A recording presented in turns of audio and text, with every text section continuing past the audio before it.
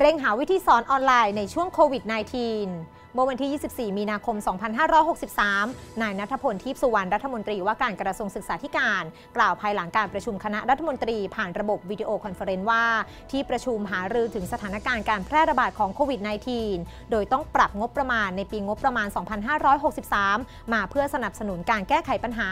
โดยเฉพาะนักศึกษาที่จบจากอาชีวศึกษา อาจนำกลุ่มคนเหล่านี้มาฝึกทักษะใหม่ หรือฝึกทักษะเพิ่มเติม ซึ่งคณะรัฐมนตรีมีความเห็นว่าควรสอนในเรื่องของทักษะดิจิทัลและภาษาอังกฤษ ซึ่งตรงกับแนวทางที่กระทรวงศึกษาธิการวางไว้อยู่แล้ว ทั้งนี้เมื่อมีคนมาเรียนอาจได้รับเงินสนับสนุนด้วย ซึ่งกระทรวงศึกษาธิการต้องวางแผนหาวิธีสอน เช่น การสอนผ่านออนไลน์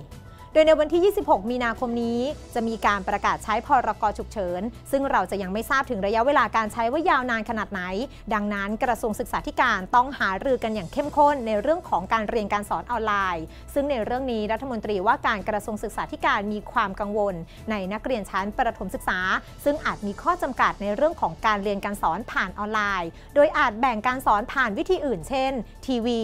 ส่วนชั้นมัธยมศึกษา และอาชีวศึกษาอาจไม่มีปัญหาแต่กังวลในเรื่องของอุปกรณ์ที่ใช้ในการเรียนสำหรับนักเรียนที่อยู่ในพื้นที่ห่างไกล บริหารจัดการอุปกรณ์ให้ได้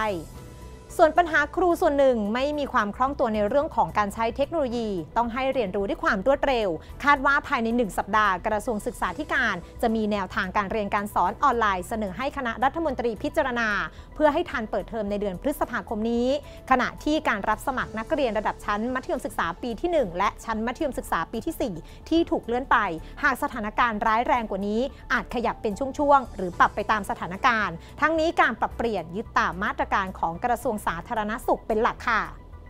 และทั้งหมดนี้คือเที่ยงวันทันข่าวสปทสวัสดีค่ะ